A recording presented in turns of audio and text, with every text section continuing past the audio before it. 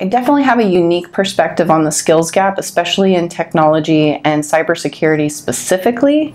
I believe that we don't so much have a skills gap as we do have a communication gap between what employers think that they're looking for and the talent that is available to them. Uh, you'll notice on a lot of job descriptions, uh, there's the requirements for certifications similar to a CISSP for what would be considered an entry to mid-level position that doesn't necessarily require those skills. And I think that a lot lot of what we can do um, to close that gap is to educate employers, specifically recruiters and HR departments, about what each of the roles that they're hiring for really needs as far as the education is, how to measure the skills of a candidate, and then bridge the gap in communication between what these recruiters think that they need to fill the position and how to determine what a really great quality candidate looks like for that role. Um, but what I am really passionate about is um, turning over those rocks and exploring where talent may be, where otherwise you may not have already considered that. I think part of the challenge is that as an industry, we tap into the same pools repeatedly um, rather than, than expanding that. And I think that we're changing that gradually as a, as a community. There are so many great initiatives out there. But what I, what I consider, and I, I think of my own story as well as so many um, CISOs who I've talked to who weren't, I mean, cybersecurity wasn't an intended career path, right?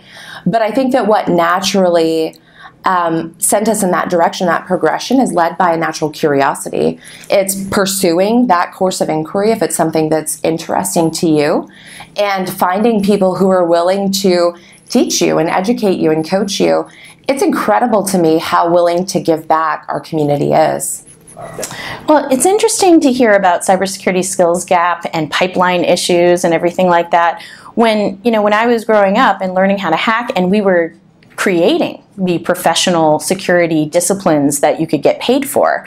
Um, we were basically inventing those roles as we went along and convincing organizations to pay us for you know these services when when people think about skills gap, it's that everybody needs cybersecurity professionals, but it's incredibly difficult to actually find entry level cybersecurity roles. So I think that people really need to take a good look at their organizations, place bets on people who are not from a traditional cybersecurity background, and look, half of us, we hackers who defined you know a lot of this industry, we weren't from a computer science background. Mudge, you know one of the most famous hackers from the L0pht, has a degree in music. I studied molecular biology and mathematics. You can come from a different discipline. What I love is where we look to folks who are professionals in their industry, like healthcare, um, and they take an interest in cybersecurity because suddenly it affects their patients, and they become some of the best you know the best most skilled people to defend their industry in ways that outsiders can't do as effectively. So i think we need to get creative about taking the journey from apprentice journeyman to master in our industry and not keep looking for the masters because where are they supposed to come from? Um, few things. One is for sure there's biases in this industry. Um, and that's the reason why there's still not that many women in this industry. Um, so one of the things is that we have to question the norm. So usually the norm is a, it's usually a white male in the U.S. and it's usually in their like it doesn't matter what age group that they are, it's just appropriate. So one of the things that we have definitely noticed is that when women meet like 100% of the qualifications, then that's when they apply. Versus men, it's only if it's 60%. And still, if they go through the application process, uh, women are still not selected. And so this is a huge deal because what's happening is that there's still biases around because they'll even pick a man who has 60% of the qualified um, I mean qualifications. And so in the end, the woman is never she's usually they tell them that she's overqualified or she's not technical enough or she doesn't have leadership experience yet. And these are all false statements usually. Um, so we definitely are still battling with the biases in our industry. Um, the skills shortage i would say that we are heavily still in this uh, i guess old opinion and belief that certifications means that that person is able to do their job. This is not always true. I mean think about it most attackers probably don't have certifications and they are doing pretty well for themselves. Um, so I think we have to really grasp that and understand that in security, certifications aren't the basis for the person's performance. And that's one of the things like with Point3 that I love working with is because we have companies that will actually like use our platform to test out applicants. So it removes the biases because it shows the actual performance. And I think that's something really important. Um, other than that, I always tell people if you are trying to be a pen tester, it could take anywhere from like one to two years. And I always push like get some experience. And even if it's impossible to find an internship where you are, there's this thing called bug bounty. Um, and if you do submit any like vulnerabilities and whatnot, and it's a public program, you can actually state those companies on your resume. So it shows that you've actually done this work. And I think that's one of the other things um, that people should be more aware of when it comes to bug bounty. And also, if you're already on a security team, believe it or not, bug bounty does um, up your game usually as well because you have to be on top of all the latest tools out there. So you're going to be constantly like looking for, okay, what else can I use here? Oh, this is new. This is really good for me to take back to my security team. Um, it's it's not a popular position. and It's certainly not one that most marketing departments of technology companies are going to cling to. But uh, uh, most people will agree that the weakest link is people. You know, and, and that is uh, reflected in in um, musings by many people that are on the security side that will refer refer to you know the stupid humans, the stupid users, uh, the muggles, the people that aren't in the know. Um, uh, in terms of a skills shortage, I don't think it's as much a problem that we need to have more people that are trained in security to do specific tasks under the umbrella of this field of security or cybersecurity. I think security needs to be something that's taught and indoctrinated and built into the um, uh, sort of the core values of, of, whatever company or institution you work for. It, it, needs to be part of the fabric. It needs to be part of the culture. Um, when I first started working for the DoD way back in the 80s, I was working for a research organization where we had secrets and we had safes and locked doors and we didn't have computers, we didn't have networks, but we had secrets and the, and the secrets were information and the information was largely in print. So it was locked in physical safes behind locked doors behind uh, you know buildings that were guarded by security, you know, physical security guards in, in you know, located on campuses that were surrounded with fences. And there were layers of security. You could see the layers of security. Um, but culturally, everybody knew what they were doing in terms of their day job, but they also knew just as importantly what all the rules were for following all the processes and procedures, which by by the nature of the time we lived in were physical procedures. They were manual procedures, but everybody took it very seriously. So the because there was multiple stop gaps, and and if there was a single failure, like let's say somebody forgot to lock the safe at night, um, there was other protections in place. But that didn't mean it wasn't important that somebody had left the the safe open one night.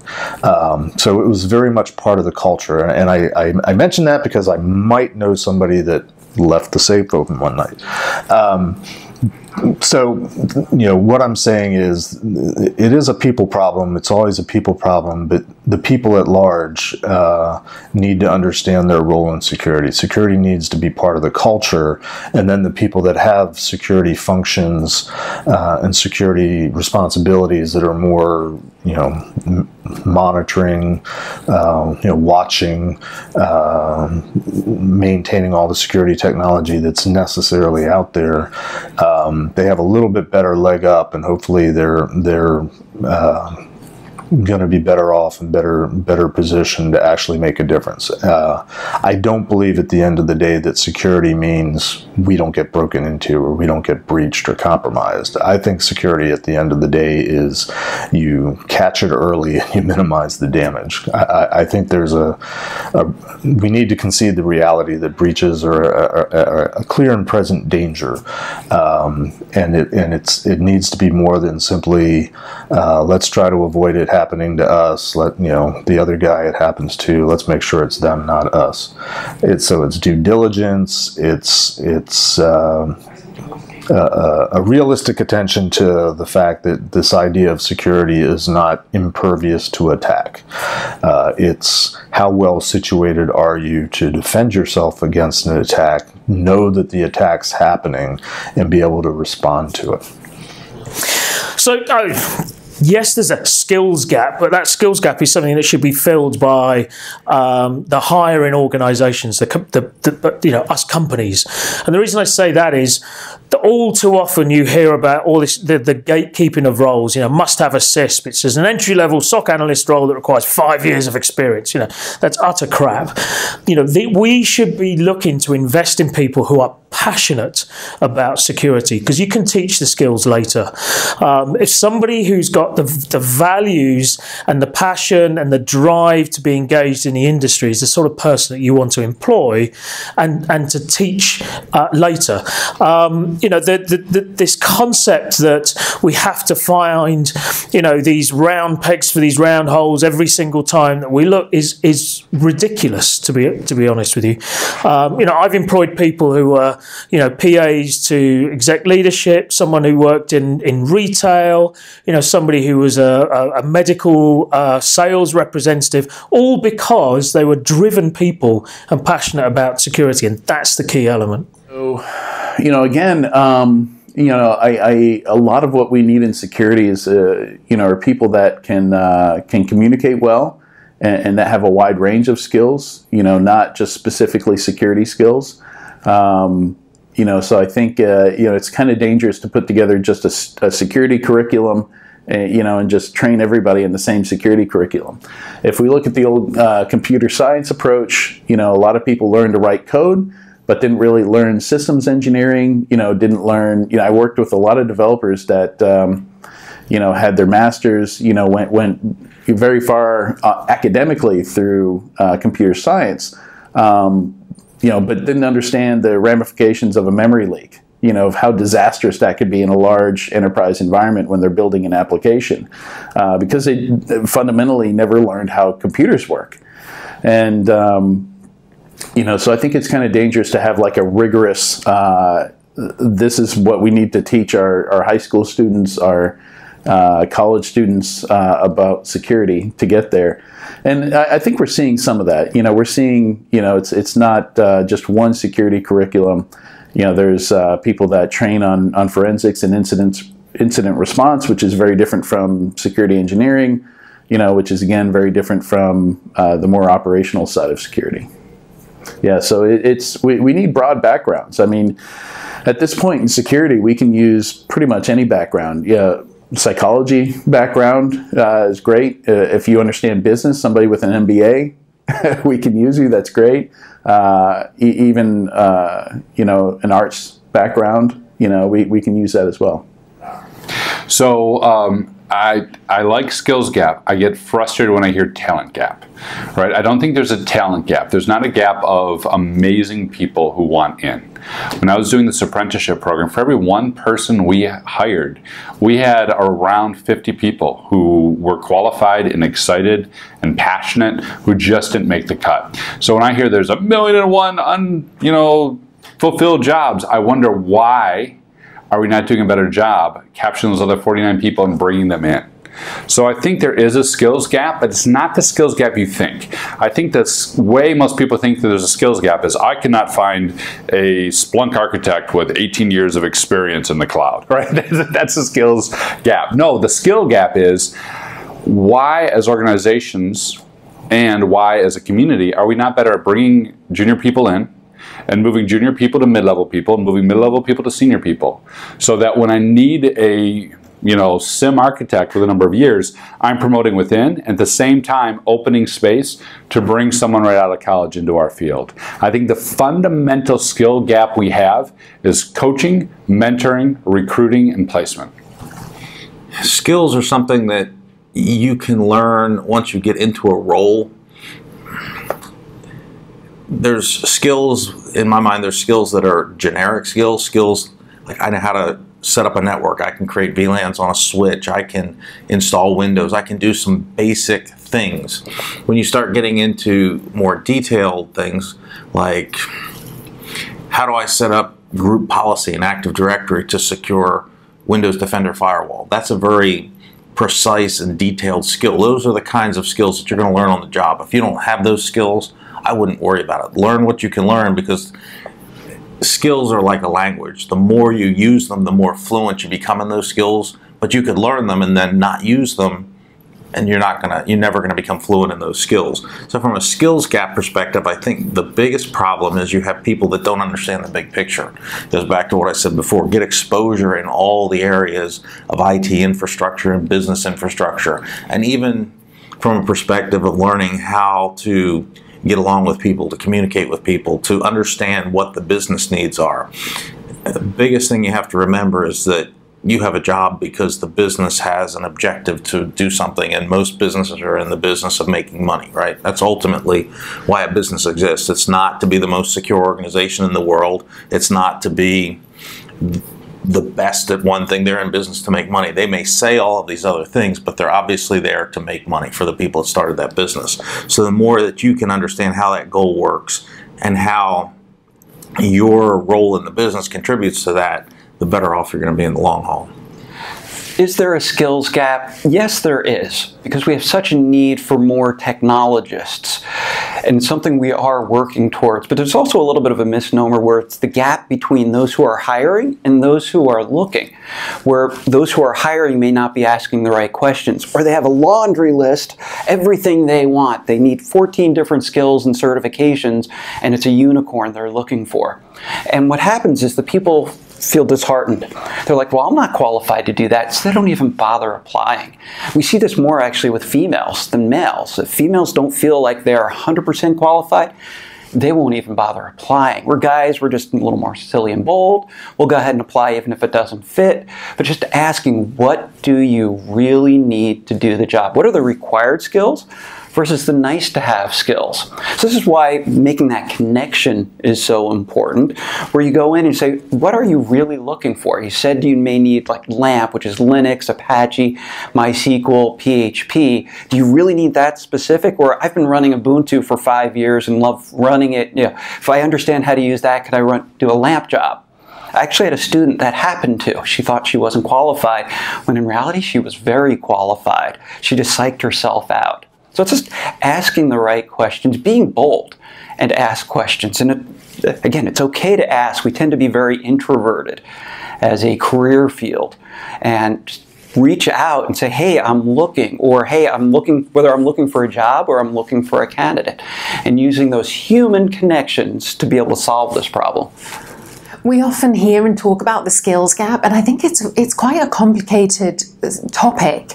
Um, partly because this industry is huge, so there might be gaps in skill and um, resource in some areas where actually there's a lot in others. So maybe we need to be a bit more specific when we're talking about the skills gap in terms of what skills do we actually mean, which jobs are we talking about, um, and where do we need to skill up in particular.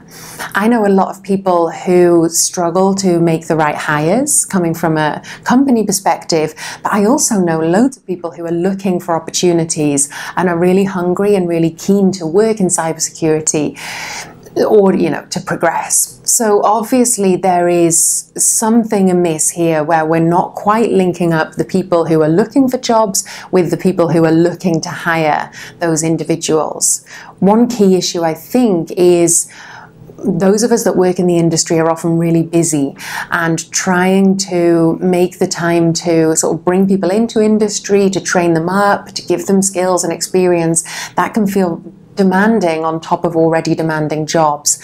So we maybe need a bit more support, a bit more help getting people skilled up and to that point where they're ready to, to jump in. And we also need to understand that actually taking the time to skill people up and train them is a really valuable investment.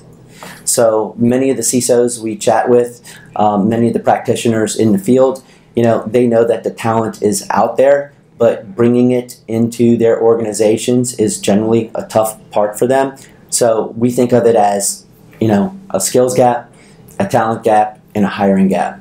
all three are kind of working in concert to work against the industry because the gap keeps growing. And you can blame it on one or all three or something else.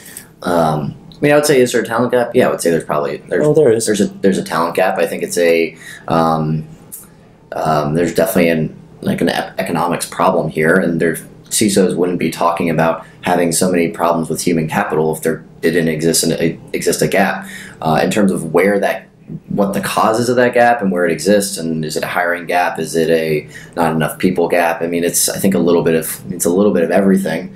Um, i also think that the um, security is kind of becoming one of those core competencies that in the past was just part of the you know part of the security team's job but it's now becoming much more um, widespread throughout the organization and companies need to be thinking more holistically about embedding security into every um, technical team member that exists Right. in the And I sit on a, a cyber uh, security advisory board for Kean University and also the foundation board there. So I'm constantly interacting with students, with professors, with cybersecurity, cybersecurity practitioners, and trying to get that mixed view and understanding of that skills gap and how to close that in a little bit more.